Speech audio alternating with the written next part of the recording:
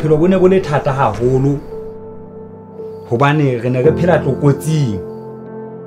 Re ne re phela ntle le bohlweki. Bobodu bo le bongata e le boshodu ka lebaka la lefifi. Lesotho, the world's southmost landlocked country of 2 million people, where projected water shortages and a lack of clean water are putting communities and farmlands at risk. The $21.4 million Metolong Dam project, financed by Abu Dhabi Fund for Development, has improved the quality of life in the region. The dam supplies 71,000 cubic meters of drinking water to more than 500,000 homes. ba rona ka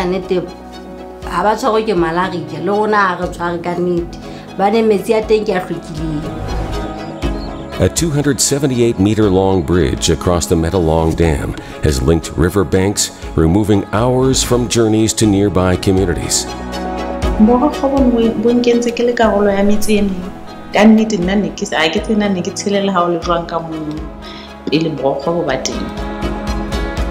The supporting grid offers an energy surplus, bringing light and life to over 5,000 homes. Motlakase o fihlile selemong se letamo se fedileng ka lona. Ka 2015 ke ha motlakase o fihla kwano. Hele mme o la fetola bophelo ba rona haholo. Re a pheya re mamela diretuo re shebella dithelefishene hana jwale.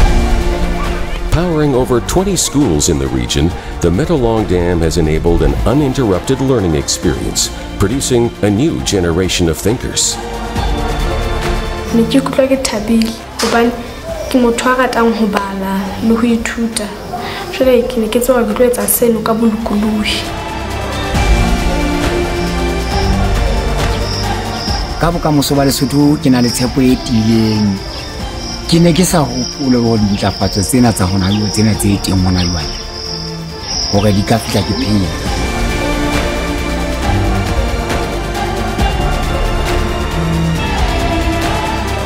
The Metolong Dam is one of the many projects Abu Dhabi Fund for Development supports in the African continent to help accelerate sustainable development and improve quality of life.